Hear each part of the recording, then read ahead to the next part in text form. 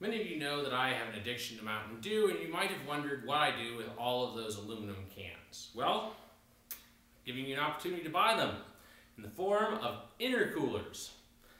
No, this isn't actually made from salvaged Mountain Dew cans. Well, it might be. I have no idea where the, the manufacturer actually gets the aluminum. But this is an intercooler for an R56 Mini Cooper. R56s are the 2007 coupes to present. Uh, it may fit other models. I have to check which models it will fit. I believe it will fit the Clubman and certain ones of the convertibles, but primarily the R56 Mini Cooper was the target. Um, it's an aluminum intercooler to replace the aluminum intercooler that it comes factory stock. Uh, it's shiny silver. Uh, it is 250% of the original surface area compared to the, you know, the stock and 150% of the volume. Because it is a stepped size, it fits in place of the original very well, but has a lot more forward exposure. So you're going to get more air from the road passing across it. If you don't know how an intercooler works, basically what happens is that the hot side comes off of the turbo and it acts like a radiator, except instead of doing water, it's doing air.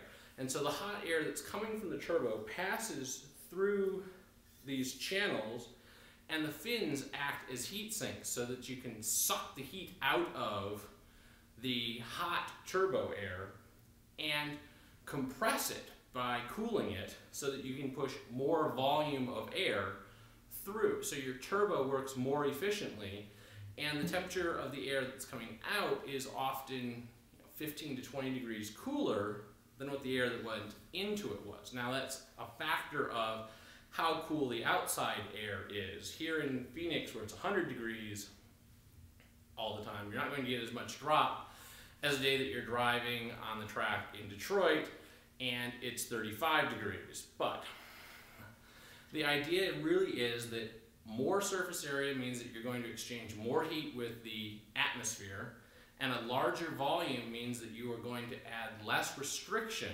so more air can pass through without having to make your turbo work as hard. That means that you can pass more air that is cooler air, denser air, and you're going to get all those kinds of benefits that people talk about when they do a cold air return on their, I'm sorry, cold air intake on their car, in that you're going to push a denser air in so that you can run a more gasoline into the cylinder and therefore make more horsepower. The horsepower that your car makes is basically a function of the pounds of air that are passed through it per minute. And at 10 pounds of air, like literally weight pounds of air per minute equals uh, 100 horsepower. So that's how you look at how much you can get is when you get to 25 pound minutes of air, you have the ability to make 250 horsepower. Um, so this is one of the factors that determines the efficiency of your turbo. So if your turbo is rated for 22 psi, it's also rated for X number of pounds per minute of air. The one that comes stock on the Mini Cooper makes 24 pound minutes of air.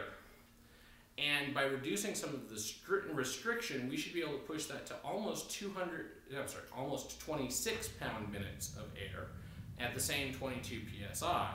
And so we should be able to see somewhere between 7 and 10 horsepower improved on the Mini Cooper just by swapping this. Now, because we're also reducing the restriction of the airflow, we should see better gas mileage if we're not driving it like we stole it one of the challenges that I have with my Mini Cooper is if I drive in a nice, slow, meandering manner and think about what I'm doing, I can get 45 miles to the gallon. If I drive it like I stole it, I get 26. So this will help in both cases. Um, when I want to get 50 miles to the gallon, this will help me get there. When I want to get to 22 miles to the gallon, this will help me get there. And it really is about your driving style.